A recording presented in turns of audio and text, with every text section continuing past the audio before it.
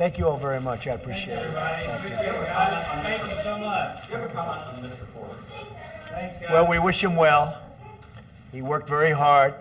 I found out about it recently, and I was surprised by it.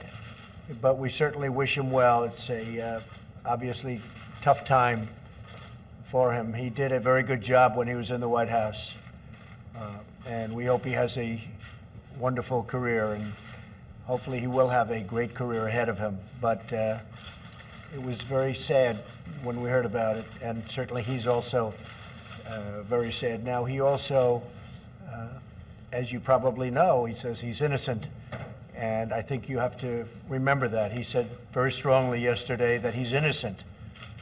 So you'll have to talk to him about that, but we absolutely wish him well. Did a very good job while he was at the White House. Thank you very much, everybody. Thank you. Appreciate it, guys. Let's go. Release the Thank you very Democratic much. memo. Let's go. Thank you. Thanks, everybody.